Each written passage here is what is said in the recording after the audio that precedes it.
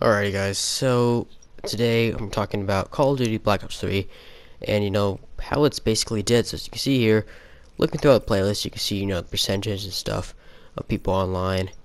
But of course when I actually go into hardcore team deathmatch, which is what I usually play, there is no one there guys. I've actually you know restart retried sorry to find a game four different times I've only found one person which you see in this clip here very shortly. But of course, why is this? Well, of course, Infinite Warfare beta is out. Before I've heard, it's not even playable yet. So I'm still, you know, shocked as to why Black Ops 3, you know, servers are vacant at this point. But just giving you a heads up, though, I thought this was very interesting.